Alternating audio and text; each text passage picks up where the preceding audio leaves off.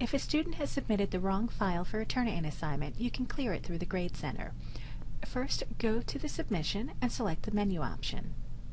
Select the actual attempt, and from the next page, click the Clear Attempt button. You will receive a warning because this is a permanent deletion. You will not be able to retrieve a submission once it's been cleared. Please note that the actual file has already been submitted to the overall student database and cannot be retrieved. This is simply clearing the submission within your course so that the student can resubmit. Click OK.